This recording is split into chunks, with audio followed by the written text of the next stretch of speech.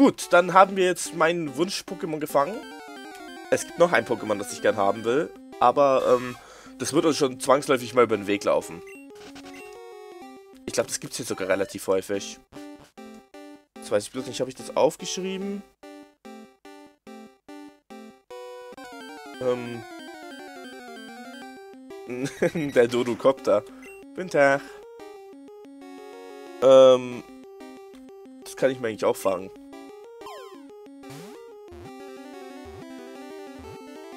Na, das bleibt sofort drin. Sehr schön. Dodo wurde gefangen. So. Dodo, der Do-Vogel. Ähm, dieses Pokémon bla bla bla, Tempo beim Laufen. Und zwar... Jetzt bin ich ja richtig ähm, gut dabei mit den Spitznamen. True. Der True Rush wollte ein Dodo sein. Nicht passt es auch? Na, wo habe ich das Haar? Trushed. Ah, verflixt. Ein Paras. Irgendwie hatte ich immer das Gefühl, dass die äh, Klänge von Paras, Mew, Parasec und Mewtwo relativ ähnlich klingen. Carbon. Was war Carbon noch einmal? Schön, dass wir damals auch wirklich so viele Initiative, dass wir auch Entschuldigung, dass wir auch so viele Beschreibungen hatten. Was kann denn dieses Item? Das musst du selbst herausfinden, mein Freund. Oder googeln. Nein, das war nur eine blöde TM. Die versperrt mir nur Platz in meinem Inventar. Ein wildes Parasek. Oh nein, wir werden alle sterben. Ein Nidorino. Hm, nicht wirklich. Auch wenn es ein gutes Level hat. Na, vielleicht finden wir ja doch noch das Pokémon, das ich haben will. Darum liegt aber auch noch was. Hm. Top-Trank. Ich möchte ein Pokémon finden. Danke.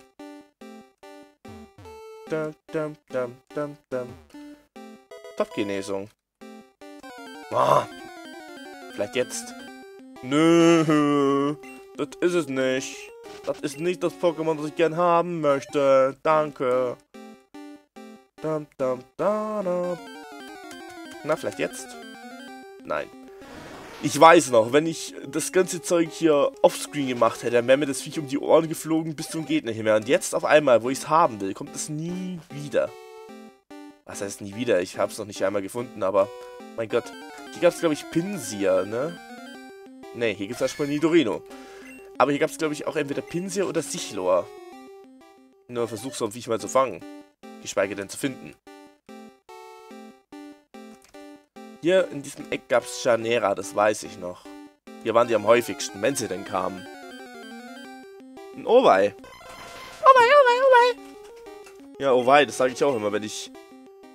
Ja, ich lasse es.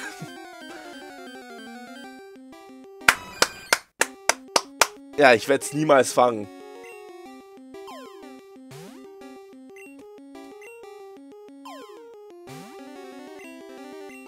Das Viech ist so extrem selten und vor allem so schwer zu fangen. Weil es einfach nicht dran geht. Dann kriegst du halt den Stein an den Kopf. Flieht 100 Pro. Oder auch nicht. Ich krieg das Viech nicht in meinen Pokéball. Na, kannst du vergessen. Du kriegst das Vieh einfach nicht in den Pokéball rein. Ich habe keine Ahnung, was die sich damals dabei gedacht haben. Ich meine, Janera ist groß. Wie soll man ein großes Pokémon bitte verfehlen? Was ist TM40? Ich glaube, das war Erholung. Leute, erklärt mir es. Wie kann man das Janera ver verfehlen? Es ist nicht schnell. Schädelwumme. Nee, danke. Das ist so ärgerlich einfach nur. Protein, das ist Angriff. Glaube ich zumindest den Angriff kriegt. Ja, Glurak gesteigert. Nö, also wenn ihr dann eine Erklärung für habt, dann erklärt mir das bitte. Ich habe keine Ahnung, wie so ein Viech einfach ausweichen kann. Es entzieht sich mir jeglicher Logik. Aber mit Logik hat Pokémon sowieso noch nie aufglänzen können.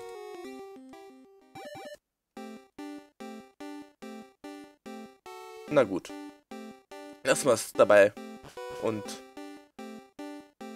verlassen. Goldzähne, genau danach habe ich gesucht. Die Goldzähne braucht ihr, sonst bekommt ihr eine bestimmte VM nicht und ohne diese VM könnt ihr eigentlich direkt vergessen, dass ihr später mal weiterkommt. Und das passt auf. Was haben wir hier? 32, Doppelteam. Den Schmann kannst du eigentlich direkt in die Tonne treten. Da kriegt man, glaube ich, nur 500 für. So. Guten Tag. Ah, endlich. Du bist der Erste, der das versteckte Haus gefunden hat. Ich dachte schon, niemand würde den großen Preis jemals gewinnen. Glückwunsch, du hast gewonnen. VM03. VM3 ist der Surfer. Land ein Pokémon diese Technik, dann kann es dich übers Wasser tragen.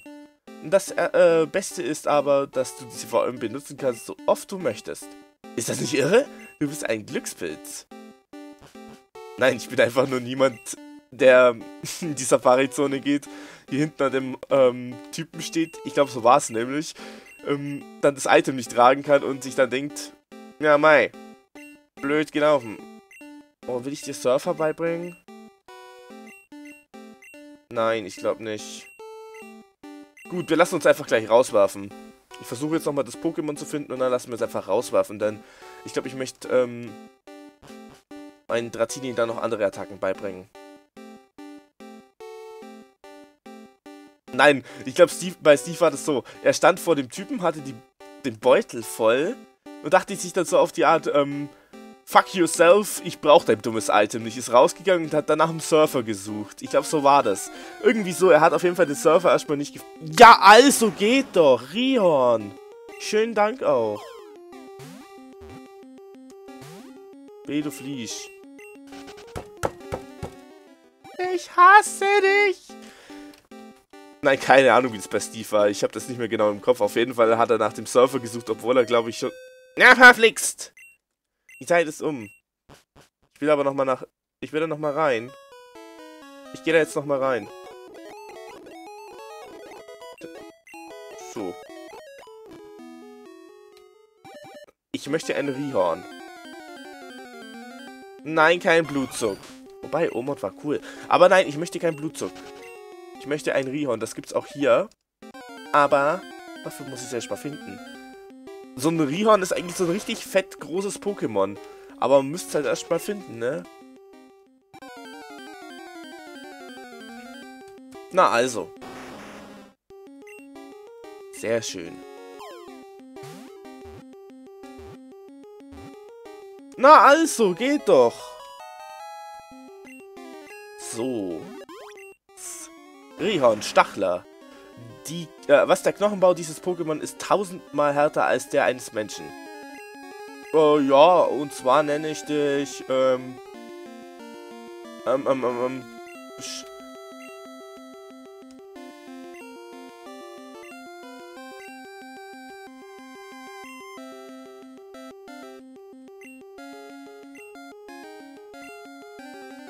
Schorsch. Schorsch. Das ist jetzt der Schorsch. Gut. Ich habe keinen Bock mehr auf die Safari-Zone. Kann ich hier... Oder halt mal.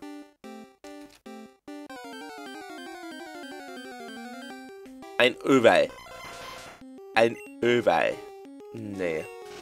Wenn ich hier noch irgendwas Gutes finde, dann ist super. Wenn nicht, dann habe ich Pech gehabt. Ein Parasek.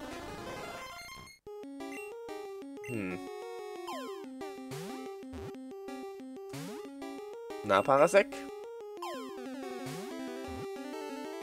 Nee. Na gut, ich lasse gut sein. Na. Blutzug. Vielleicht fange ich dich ja. Blutzug, in den Ball. Und bleib drin. Oh, Blutzug. Blutzug. Na also, geht doch. Wunderprächtig, ja, wunderprächtig. So, Blutzug, das Insekt. Dieses Pokémon lebt im Schatten großer Bäume. Es frisst Insekten und wird von Licht angezogen. Mal eben ganz kurz gucken. Ja. Ich guck eben mal ganz kurz. Blutzug. Mhm. Mhm. Ne, hat niemand. Dann nenne ich dich jetzt einfach Wuschel. Wusch. Wuschel. Wuschel. Okidoki. Hast du keine Lust mehr? Dann gib bitte die restlichen Bälle zurück. Eigentlich müsste man ja theoretisch gesehen jetzt hier sagen, hey, hey, hey. Hast du keine Lust mehr? Nein. Habe ich nicht mehr. Nicht ja. Aber gut, man kann beides nehmen. Na, na, na, na, na, na, na, na. Erik, wo ist Sarah? Ich wollte mich hier mit dir treffen. Lappen. Fleckmon, ein freundliches, aber sehr lahmes Pokémon. So kriegen wir übrigens auch ein paar Pokédex-Einträge, zumindest ebenso oberflächlich.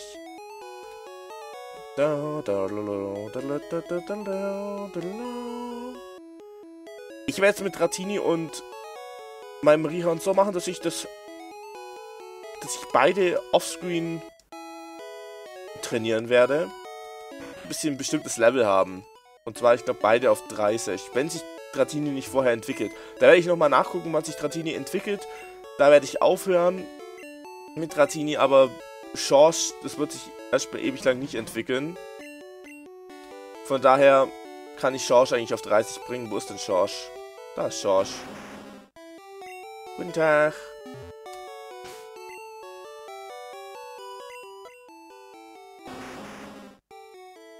Hornattacke. Das ist nicht gerade das, was ich erwartet habe, aber kannst du denn den Schaufler erlernen?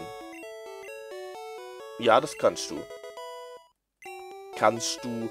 Ich habe in Erinnerung, dass ich mal gesehen habe, dass irgendein Rizeros Surfer konnte, aber irgendwie kann das... Ich weiß es nicht mehr. Na egal. Gut, ich würde sagen, wir schauen uns jetzt noch die Arena an. Da brauche ich blöde Schosch und Draco nicht dazu. So. Hier brauche ich nämlich nur mein wunderbares Simsala. Oder, und Matumbo. Na, was mache ich denn? Matumbo und Simsala. Die beiden brauche ich hier. Guten Tag. Ich möchte bestellen. Kannst du gegen meine Spezialtechniken bestehen? Das werden wir sehen. Und ich fand immer klasse, dass ich als Kind gemeint habe, dass die Leute hier keine Haare haben. Und Traumato, ich wusste es, du kleiner Spasti. Simsala. Body Slam. Ja, besser kann der Kampf nicht anfangen. Was ist das denn hier für Spezialtechniken, mein Freund? Kadabra gegen Kadabra. Und mein, äh, ich habe gar kein Kadabra, ich habe Simsala, super. Ich vergesse es immer wieder. Gut, Nee, also Kadabra ist ja in der Arena eigentlich schon mehr als overpowered, aber Simsala ist dann nochmal eine Ecke stärker. So. Du hast mich mir reingelegt. Ja, habe ich. Der Erfolg hängt nicht von der Stärke deiner Pokémon ab. Es kommt auf die Strategie an. Intelligenz obsiegt über rohe Kraft. Jetzt würde ich dir gerne nochmal die Frage stellen, würdest du mir das auch erzählen, wenn ich hier mit einem Rizeros Level 100 ankommen würde, das dich mit Body Slam weg slammt? Hypno. Du bist Gift. Und Psycho. Das heißt, ich könnte theoretisch gesehen mal die Psychokinese probieren. Weil ich jetzt ehrlich gesagt nicht so dran... Ja. Äh, ich glaube, es hatte den Gifttyp in der ersten Generation noch nicht. Bin mir nicht sicher. Warum ist seine Psychokinese... Ah, Volltreffer. Gut.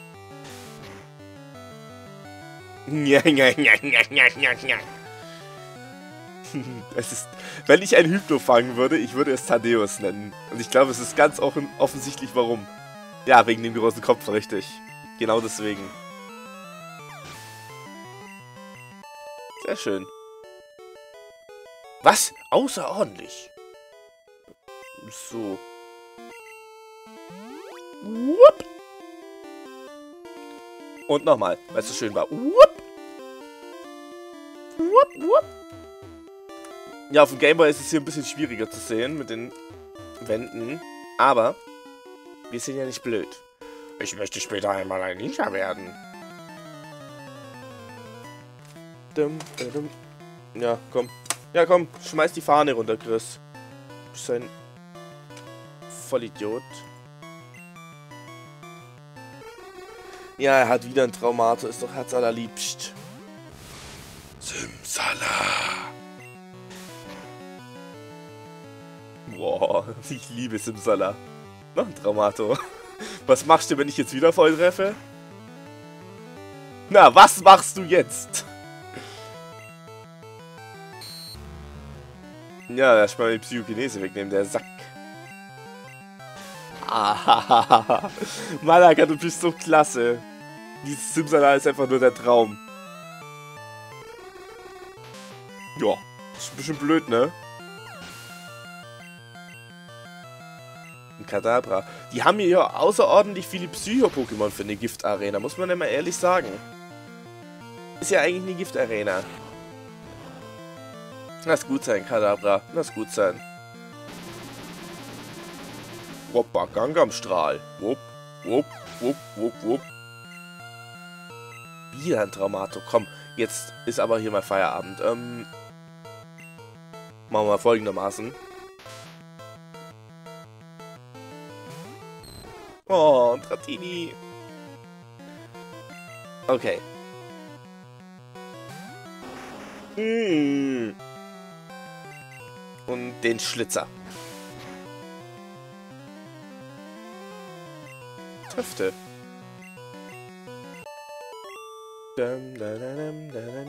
Ich hab verloren. Guten Tag. Meister Koga unterweist mich in der Kunst des Ninja-Kampfes. Der Einsatz von Pokémon ist eine sehr alte Ninja-Tradition. Na klar, er wirft euch die Pokebälle anstatt Wurfstande an den Kopf. Ja, du siehst aus wie so ein Ninja, bin ich mal ganz ehrlich. Arbok. Na endlich, das erste Gift-Pokémon. Die kann ich one-hitten. Kann ich einfach nur so dermaßen one-hitten. Tschüss. Na, na, na, na. Na also, das zweite Pokémon ist Level 40 erreicht. Sandama. Moment, da könnte ich jetzt eigentlich mal theoretisch gesehen Dratini versuchen. Aber nur versuchen. Vielleicht... Das könnte funktionieren.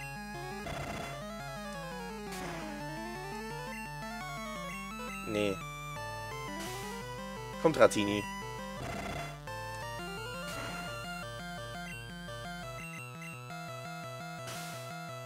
Ich bin gespannt. Hm, kacke. Hm. Ja, es war leider klar. Tut mir leid, aber so brauche ich Bratini noch nicht trainieren. So blödel, Schorsch. Alter, wie siehst denn du aus? Da haben die sich wirklich nicht mit rumbegossen. Naja, egal. Dann eben der blödel Schorsch. Alter, der schafft es wirklich noch, meinen Schorsch zu besiegen. Komm, das können wir nochmal. Oh oh. Blödelschorsch, Angriff! Na, immerhin. Ich probier's. Ich weiß, dass ich sterben werde, aber ich probier's. Nein. Nein, nein, nein, nein! Nein! Das ist nicht dein Ernst! Nein! Blöde Schorsch! Du Depp!